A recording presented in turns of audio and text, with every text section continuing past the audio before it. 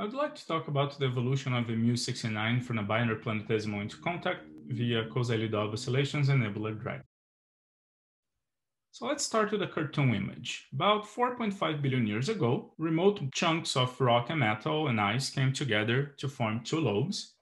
These two lobes uh, were in orbit in each other and somehow they spiraled in into contact and formed what we know as Mu69, aka Arrokoth.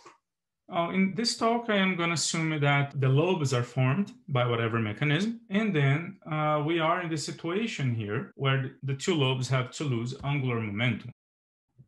Here I'm going to break one of my rules of giving talks, which is to never show equations, but these equations are simple enough that everybody can follow. This is the gravity between the two bodies, and this is the drag force. You have here the body one and the body two.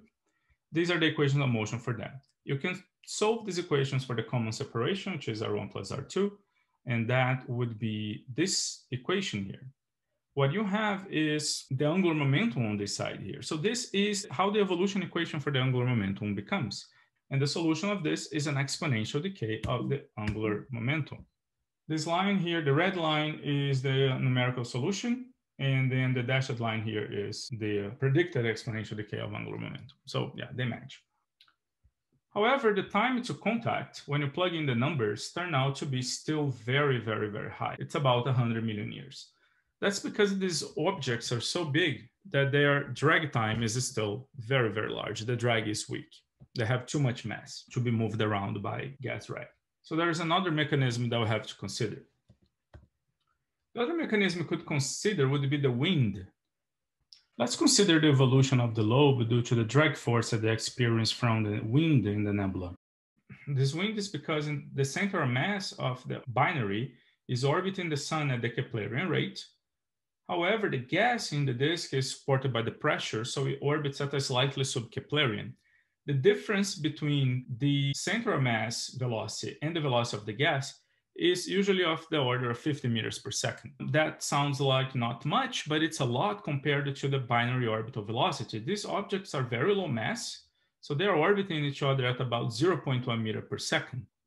So we solved then for the wind solution. This is the, in black is the numerical calculation, in red is the analytical solution. As you see here, the semi-major axis almost doesn't change, uh, but the eccentricity immediately shoots to one, and the angular momentum shooting to zero what we're looking at is a loss of angular momentum at nearly constant energy. So geometrically, this is what would be happening. You have the body here uh, initially in a circular orbit. Because the orbit is losing angular momentum, it's becoming flatter and flatter, uh, but at constant energy, so that the semi-major axis in the end is still almost the same as it started with. Eventually, then the orbit becomes aligned and then they plunge into contact when the eccentricity becomes one. Great, except that it doesn't work in the Kuiper belt. It works in the asteroid belt. The wind has a strong effect in the distances of the asteroid belt, but indeed has little effect in the Kuiper belt. What we're looking here is the effective drag time for different velocities of the wind. So this line here, the blue line is for zero velocity, meaning no wind, there is zero pressure gradient. And different lines here up to the violet line, which is 100 meters per second.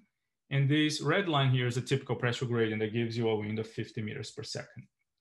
As you see here, it starts to decrease indeed at the distances of the asteroid belt. Then you get drag times of the order of 1 million years. But at the Kuiper belt, the drag times remain beyond 10 million years.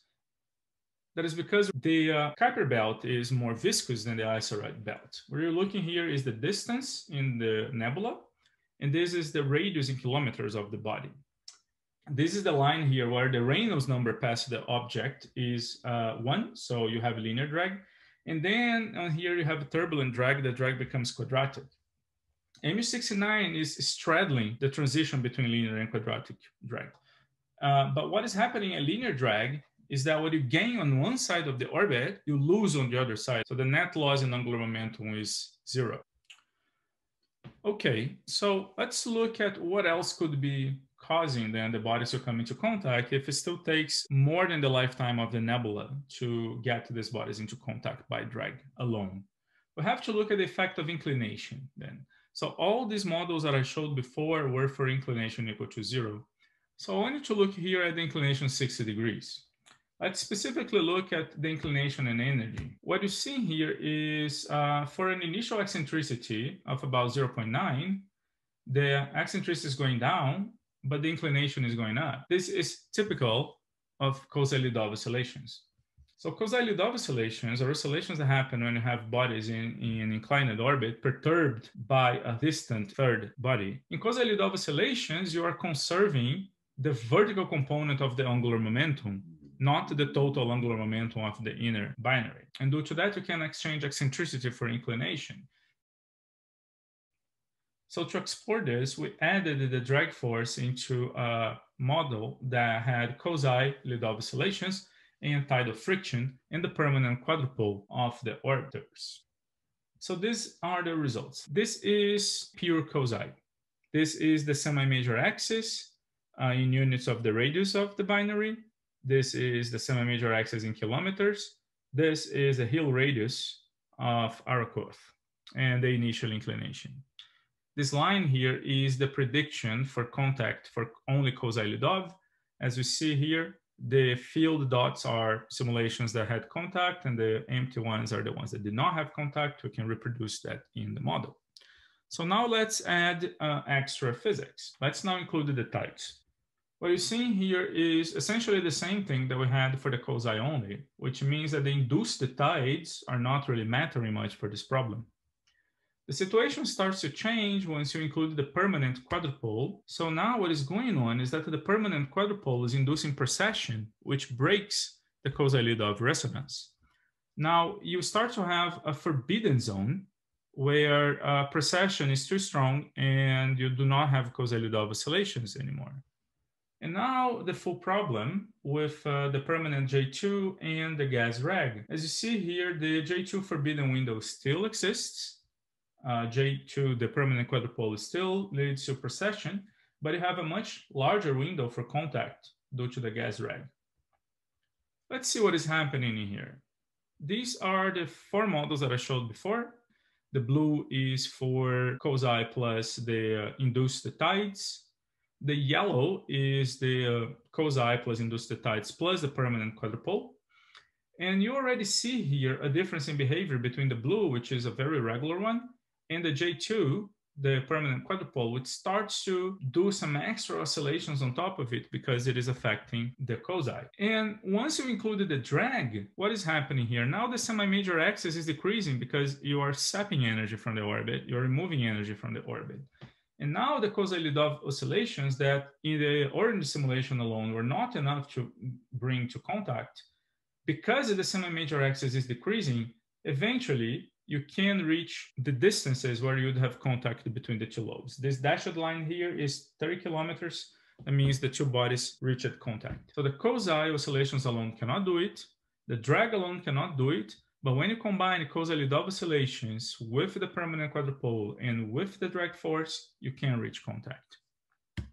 So conclusions, we solved the binary planetesimal problem with gas drag. We implemented the solution into a Kozai plus tidal friction code. We, um, we find that a contact is possible in the asteroid belt within um, 100 million years. We find that a contact via Kozai cycles in the, Car- in the Kuiper belt is possible. Uh, the orbits become grazing but the window of contact is narrow.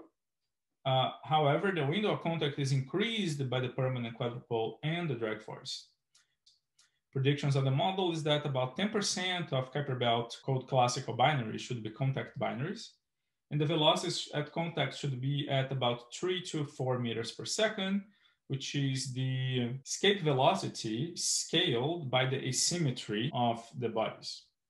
An open question is um, to use single average or n-body or full n-body models to reproduce the final inclinations.